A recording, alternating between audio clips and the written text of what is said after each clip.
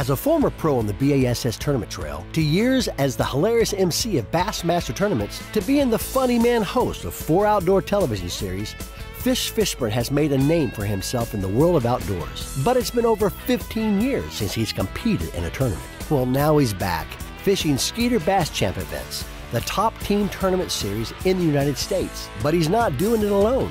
He's roped his girlfriend Eve to be his partner as they travel the Lone Star State to compete against the best grassroots anglers in Texas. So get ready, this could be fun. Skeeter Bass Champs with Fish Fishburne